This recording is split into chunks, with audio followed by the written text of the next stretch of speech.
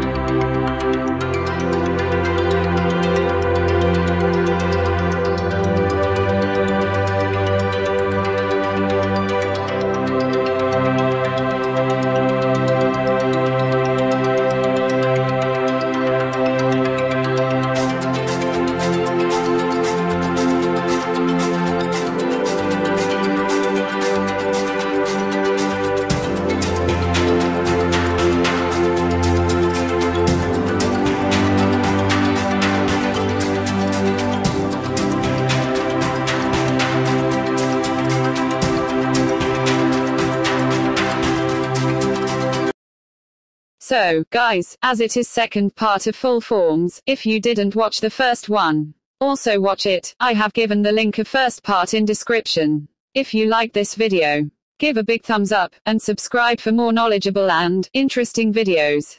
Finally thanks for watching.